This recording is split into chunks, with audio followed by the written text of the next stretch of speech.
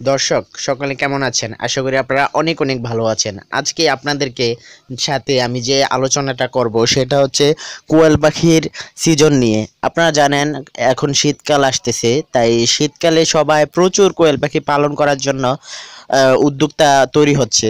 এই উদ্যোক্তারা কোয়েল পাখির ডিমের দাম পাবে বেশি, তাই প্রচুরভাবে কোয়েল পাখি কিনতেছে এবং যার কারণে কোয়েল পাখির ক্রাইসিস চলতেছে। যারা হ্যাচারি মালিক রয়েছে, তারা সঠিকভাবে কোয়েল পাখির বাচ্চা দিতে পারতেছে না। সবাই কম বেশি ব্যস্ত এবং সবাই বিক্রি করতেছে বাচ্চা। সো অনেক ধুম পেরেছে। তবে যাক, যেটাই হোক, আমি ছোটোখাটো খামারি, আমার আমি এত বাচ্চা প্রস্তুত করি না। তবে আপনাদের মাঝে কিছু সতর্কতা নিয়ে এসেছি। যে সতর্কতাগুলো আপনাদের জানা উচিত জেনে রাখলে আপনাদের মধ্যে কিছু সমস্যা থেকে আপনারা বেঁচে যেতে পারেন। আমি আমার কিছু বাস্তব অভিজ্ঞতা থেকে আপনাদের মাঝে শেয়ার করব। শীতের আগে এবং পরে এবং শীতের মাঝখানে কিছু প্রবলেম হয়, ওই জিনিসগুলো যদি আপনারা আগাম জেনে রাখেন, তাহলে আপনারা, আপনাদের মধ্যে মধ্যে যত ধরনের সংকোচ থাকবে খামার করতে গিয়ে লাভবান হবেন কিনা, ওই জিনিসটা যদি অ্যাভয়েড করে চলতে পারেন এবং কিছু পদ্ধতি গ্রহণ করতে পারেন এবং কিছু সিস্টেম মাফিক চলাফেরা করেন এবং আপনার পাখিগুলোকে পালন করেন, তাহলে আপনার খামারে কোনো ধরনের লস আসবে না, ইনশাল্লাহ। তো দর্শক, আপনারা যারা কোয়েল পাখির বাচ্চা তুলছে, তুলছেন এবং তুলবেন বলে ভাবছেন তারা এই ভিডিওটি অবশ্যই দেখবেন এবং প্রথম থেকে শেষ পর্যন্ত দেখবেন। ভিডিওটি আপনারা প্রথম হয়তো বা মনে হবে যে কোনো কিছু শিখতে পারতেছেন না। তবে যারা ধৈর্য ধরে প্রথম থেকে শেষ পর্যন্ত একটু দেখে নেবেন, তাহলে কিন্তু আপনারা অবশ্যই অনেক কিছু শিখে যাবেন। ঠিক আছে? কিন্তু এই জিনিসটার গুরুত্বটা যা, যারা কখনো খামার করেছেন কোয়েল পাখির, তারা বুঝতে পারবেন। বন্ধুরা, কথা না বেরিয়ে আমাদের মূল টপিকে চলে যাই। আমাদের টপিকটি হচ্ছে আজকে শীতকালীন পরিচর্যা, শীতকালীন শুরুতে পরিচর্যা, শীতের অবস্থায় কি পরিচর্যা করব এবং শীতের শেষের দিকে কি কি পরিচর্যা করতে হবে, সেই জিনিসগুলো নিয়ে বিস্তারিত আলোচনা করব। সো বন্ধুরা প্রথমে আমি চলে আসি শীতকালীন প্রথমে যে হবে শীতের শুরুতে যে পরিচর্যাগুলো এ সেগুলো। বন্ধুরা, আপনারা, আমরা জানি আমাদের বাংলাদেশে শীতরা কখনো বেশি থাকে, কখনো কম থাকে। আবার কখনো কখনো দেখা যায় যে শৈত্যপ্রবাহ হয়ে যায়। তাই আমরা এখনও বুঝতে পারি না যে শীতের প্রকোপটা কেমন হবে। কোয়েল পাখি যেমন অতিরিক্ত গরম সহ্য করতে পারে না, ঠিক তেমনি অতিরিক্ত শীতও সহ্য করতে পারে না।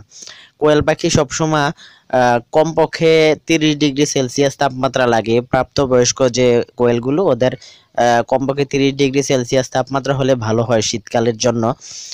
সো বন্ধুরা, শীতকালে কিন্তু তিরিশ ডিগ্রি তাপমাত্রা থাকে না।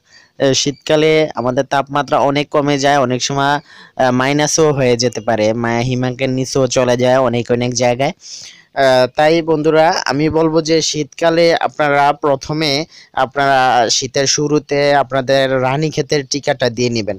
অনেকে প্রশ্ন করে থাকেন যে, ভাই, রানী ক্ষেতের টিকাটা কেন?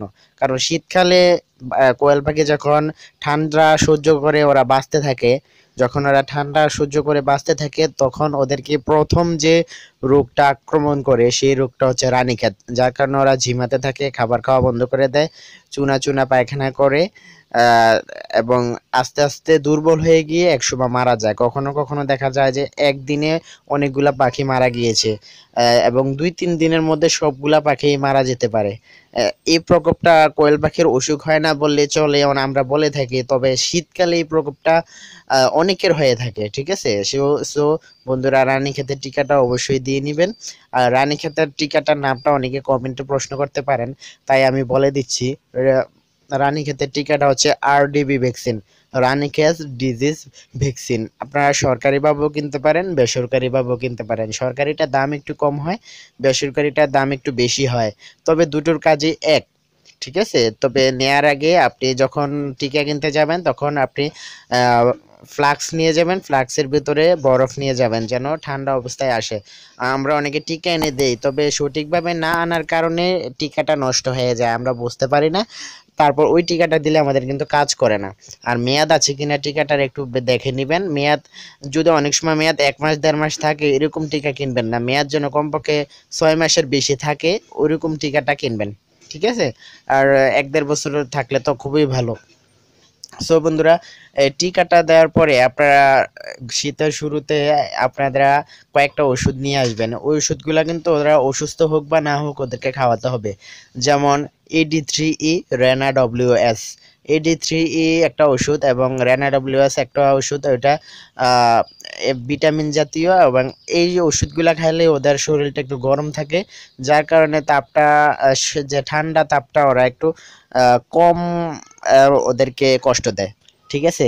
আর এডি থ্রিটা শীতকালে খুবই ভালো। রানা ডাব্লিউএসটা ওদের মাল্টিভিটামিন হিসাবে কাজ করে। ওই ওষুধগুলো নিয়ে আসবেন। শীতকালের শীতের শুরু থেকে শীত যাওয়ার আগ পর্যন্ত ওদেরকে এগুলা নিয়মিত কোর্স হিসাবে এগুলা ওদেরকে খাওয়াবেন। ইচ্ছা করলে আপনারা সকালে একবার বিকালে একবার দিতে পারেন। তবে আহ, এক বেলায় দিলেই ভালো বেশি দেওয়ার দরকার নেই। তবে যদি অতিরিক্ত শীত পরে আপনি বিকালেও একবেলা দিতে পারেন আপনি এডি থ্রিটা ঠিক আছে? আর ইসেলটা তো অবশ্যই খাওয়াবেন, আর জিঙ্কটা খাওয়াবেন ওদের রুচি তৈরি করার জন্য। আর এই জিনিসগুলো আপনারা নিয়ে আসবেন, তাহলে আপনাদের শীতের শুরুতে আপনাদের প্রস্তুতিও মোটামুটি শেষ। আরেকটা প্রস্তুতি রয়েছে, আপনারা আপনাদের খামারে পর্যাপ্ত ভারী পর্দার ব্যবস্থা করবেন। ভারী পর্দার ব্যবস্থা করবেন যেন ঠান্ডা বাতাস যেন খামারে প্রবেশ করতে না পারে, সেই জিনিসটা খেয়াল করবেন এবং যেন কোনো ধরনের ঠান্ডা না প্রবেশ করতে পারে সেই জিনিসটা খেয়াল করবেন।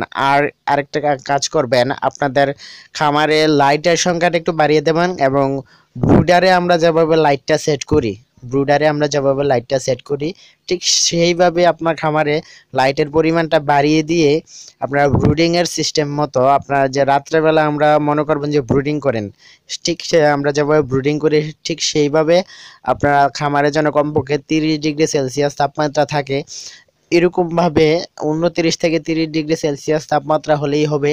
এরকমভাবে আপনাদের লাইটগুলা সেট করবেন এবং সারা রাত্র এবং যখন যতক্ষণ ঠান্ডা পড়বে ততক্ষণ পর্যন্ত লাইটগুলো লাগিয়ে রাখবেন। আপনারা অনেকে বলতে পারেন, ভাই কোয়েল পাখি তো ষোলো ঘণ্টা আলো দেয় আর অন্য সময় তো আলো বেশি দিলে তো সমস্যা হবে। শীতকালে এটা সমস্যা নেই, আপনি আলো দিতেই হবে, কিছু করার নাই ওদেরকে তাপ দেওয়ার জন্য। আর লাইটগুলো হচ্ছে ভালো তাপের সিস্টেম আপনারা কারেন্টের মাধ্যমে দিতে পারবেন। আরও আরেকটা কাজ করতে পারেন যাদের এখানে কারেন্টের প্রবলেম রয়েছে। গ্যাস গ্যাস ব্রুডার নামে এক ধরনের ব্রুডার পাওয়া যায়। ওই ব্রুডারটা নিয়ে আসতে পারেন, তাহলে কিন্তু এটা একটু খরচ বেশি হয়। আপনার, এটার কস্টিং খরচটা বেশি হয়ে যায়। গ্যাসের, গ্যাস পুরাতে হয়, এটা একটু ঝামেলা। তবে যারা পারেন, এটা করতে পারেন। গ্যাস বুটা, যার কারণে ওদের শরীরটা গরম থাকবে, রোমটা গরম থাকবে। সেই জিনিসটা খেয়াল রাখবেন। আর লিটার যেন ভিজা না হয়, লিটারটা যেন শুকনা থাকে, সেই জিনিসটার দিকে খেয়াল রাখবেন। যখন রৌদ্র ওঠে, যদি খামারে রৌদ্র প্রবেশ করার ব্যবস্থা থাকে, তাহলে রৌদ্রের সময় আপনারা পর্দাগুলো তুলে দিবেন, ওরা ওদের রৌদ্রটা পাবে। তখন লাইটটা কমিয়ে দিলেও হয়, কোনো সমস্যা নেই। আর আপনারা তাপমাত্রা মাপার জন্য থার্মোমিটার ব্যবহার করবেন। আশা করি আপনারা শীতের শুরুতে এই পদ্ধ- পদ্ধতিগুলো গ্রহণ করলে ইনশাল্লাহ আপনাদের শীতের প্রস্তুতিটা ভালোই হলো। এরপরে আপনার শীত চলাকালীন সময়ে যা করবেন সেগুলো আমি এখন বলতেছি। বন্ধুরা, শীত চলাকালীন সময়ে আমাদের যে যে সতর্কগুলা করা লাগে সেগুলা একদম সিম্পল আমরা শীতের শুরুতে যা গ্রহণ করেছি এগুলা শীতের চলাকালীন সময়ে প্রয়োগ করতে হবে। যেমন আমাদের এইটি থ্রি ই এবং রেনা ডাব্লিউ এস ওষুধটা আমাদের শীত চলাকালীন সময়ে আমরা খাওয়াবো। এবং আমাদের পর্দাগুলা সঠিকভাবে মেনটেন করব এবং রৌদ্র যদি প্রবেশ করার ব্যবস্থা থাকে খামারে, তাহলে রৌদ্রের সময় পর্দা খুলে দেব, লাইটের পরিমাণ কমিয়ে দিলেও হবে তখন আমাদের বিদ্যুৎটা সাশ্রয় সাশ্রয় হবে। আর আপনারা যদি বিদ্যুৎ খরচ হয়ে যায় এরকম সাশ্রয়ের কথা চিন্তা করেন, তাহলে ভাই আপনি একশত টাকা বাঁচাতে গিয়ে দেখবেন আপনার খামারে পাঁচশত টাকা চলে গিয়েছে, আপনি পরে বুঝতে পারবেন, বুঝতে পেরে আসো, তখন আর কিছুই করা থাকবে না। সেই জিনিসটা খেয়াল রাখবেন। আবার যারা খাঁচায় পালন করেন।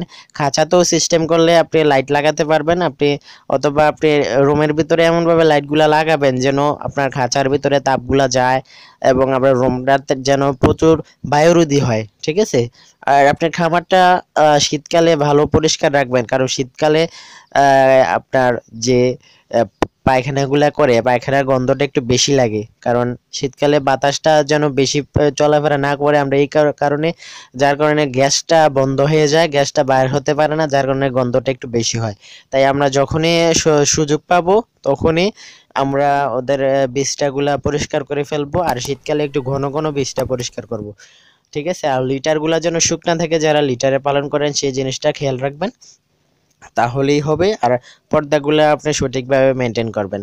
আর ভারী পর্দা ব্যবহার করবেন, পর্দা ব্যবহার করার সময় অনেকে চট ব্যবহার করেন, অনেকে কাপড় ব্যবহার করবেন। আমি বলব যে সবচেয়ে বেস্ট হয় আপনারা তিরপাল ব্যবহার করলে। এক ধরনের তিরপাল পাওয়া যায়, ওই তিরপালটা ব্যবহার করতে পারেন।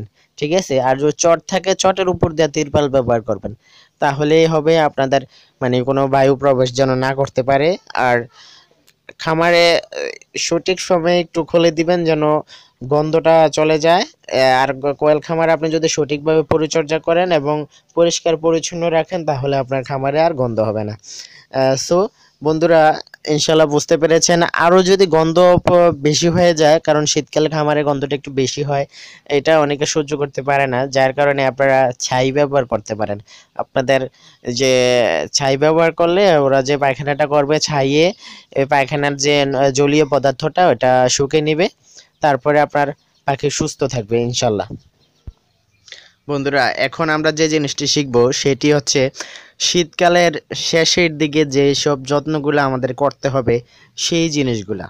বন্ধুরা, শীতকালের শুরুতে আমরা কিছু পদক্ষেপ গ্রহণ করেছি এবং শীতকালের শেষে চলাকালীন আমরা কিছু পদক্ষেপ গ্রহণ করে কীভাবে করতে হয়, সেগুলো আমরা জেনেছি।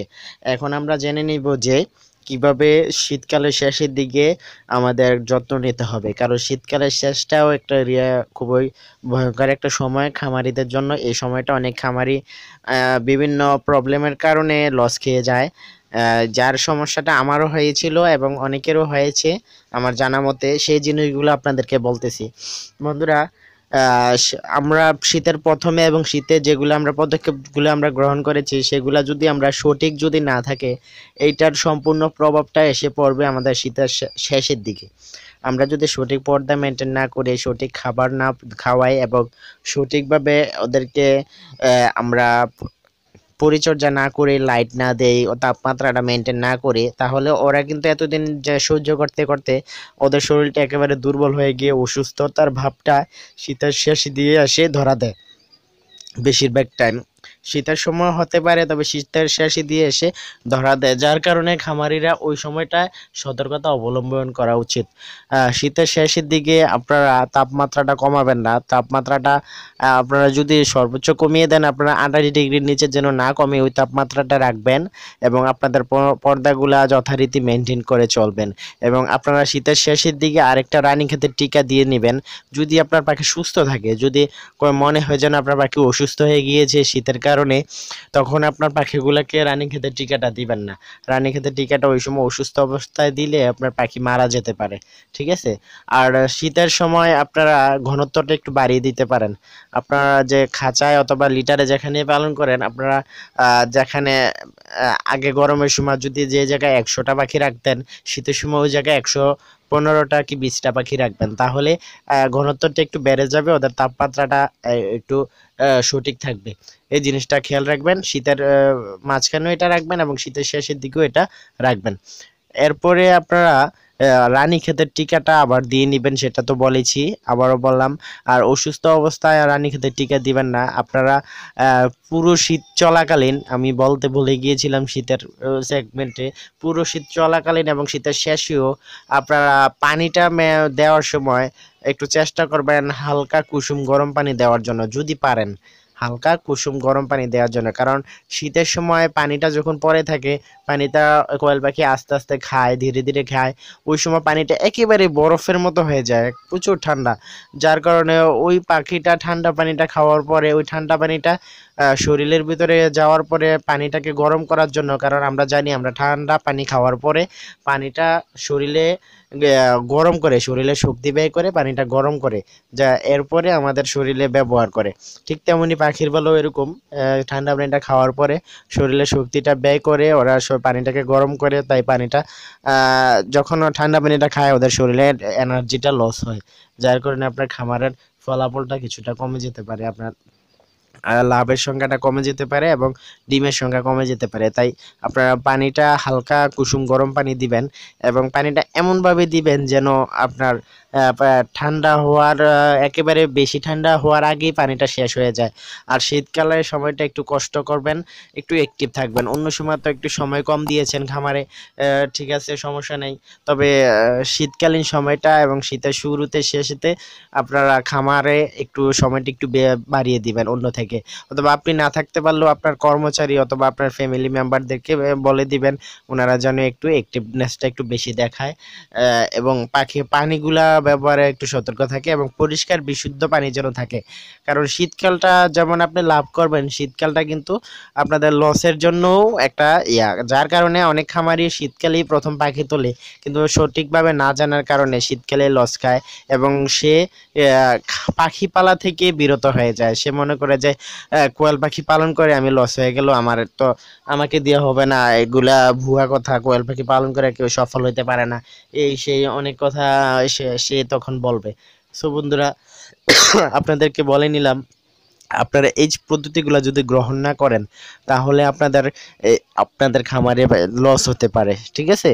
আর সো আপনারা এই জিনিসগুলা অবলম্বন করবেন। আমার বর্তমানে এগুলাই মনে আসতেছে। তবে ওষুধগুলা যে চারটা ওষুধ রয়েছে চারটা ওষুধ খাওয়াবেন। ওষুধগুলো হচ্ছে জিঙ্ক, ক্যালপ্যাক্স এডি থ্রি ই ইসেল আর যে মাল্টিভিটামিনের জন্য রেনা W E S sorry, রেনা W S খাওয়াবেন। তাহলেই হবে। এই জিনিসগুলো অবশ্যই অবশ্যই মেনটেন করবেন, পর্দাগুলো মেনটেন করবেন। পরিশেষে আবারও বলে নিচ্ছি, শীতের শুরুতে রানীক্ষেতের টিকাটা দিবেন, শীতের শেষের দিকেও রানীক্ষেতের টিকাটা দিয়ে নেবেন।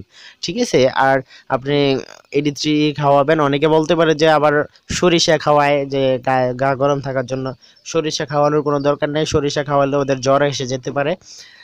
সো আপনারা খাওয়া নর্মাল খাবারগুলো খাওয়াবেন আর লেয়ার যারা লেয়ার খাবার খাওয়াবেন লেয়ার খাবারের সাথে কিছুটা লেয়ারি স্টার্টার অথবা সোনালি স্টার্টার মিক্স করে দিবেন, যার কারণে ওদের খাবারের রুচিটা একটু বেড়ে যাবে। আর শীতকালে এমনিতেও যখন ওরা কষ্ট পাবে, শীতকালে খাবারটা একটু বেশি খাবে। কোনো সমস্যা নেই, শীতকালে খাবার আপনারা কম দিয়েন না। অনেকে অতিরিক্ত কম দিয়ে ফেলে লস হয়ে যাবে ভেবে। আপনারা শীতকালে খাবার খাবারটা কম দিবেন না। শীতকালে খাবারটা অন্য সময় থেকে একটু বাড়িয়ে দিবেন। ওরা খেতে পারলে খাওক না খেতে পারলে তো নাই। আর পরিষ্কার পরিচ্ছন্নতা অবশ্যই অবলম্বন করবেন। সো বন্ধুরা ভিডিওটি আশা করি আপনাদের সম্পূর্ণ ভিডিওটি ভালো লেগেছে। ভিডিওটি জানি না কতটুকু আপনাদের উপকার হবে, তবে কথাগুলো মেনে চলবেন। ইনশাল্লাহ আপনারা সফল হবেন। কথাগুলা যদি ভালো লাগে এবং ভিডিওটা যদি আপনাদের সামান্য পরিমাণ উপকার হয়ে যায়, তাহলে আপনারা অবশ্যই ভিডিওটিতে একটা লাইক দিবেন এবং কোনো কথা হয়তো বা আমার সবগুলা কথা মনে আসতেছে না, কোনো কথা মিসিং হয়ে যায়, আপনারা কমেন্ট বক্সে লিখবেন। যারা বন্ধুরা কমেন্ট বক্স দেখে কমেন্ট পড়ে, তারা অবশ্যই কমেন্টগুলো পড়ে অনেক কিছু শিখে যেতে পারে। আর আপনাদের কোনো প্রশ্ন থাকলে কমেন্ট বক্সে কমেন্ট করতে পারেন, আমি সকল কমেন্টের উত্তর দিয়ে থাকি। আমার ফেসবুক আইডি রয়েছে ডিসক্রিপশনে আপনারা ফেসবুকে জয়েন করতে পারেন আমার সাথে। সো বন্ধুরা ভিডিও কথা না পেরিয়ে আরও বলতেছি, যারা আমার চ্যানেলটি এখনও সাবস্ক্রাইব করেননি, অবশ্যই সাবস্ক্রাইব করে নেবেন এবং বন্ধুদের মাঝে ভিডিওটি লাইক কমেন্ট করবেন এবং শেয়ার করে দিবেন বন্ধুদের মাঝে। আর আপনার যদি খামারি বন্ধু থাকে এবং কেউ উদ্যোক্তা হয়, তাকে অবশ্যই ভিডিওটি শেয়ার করবেন। সকলেই ভালো থাকবেন।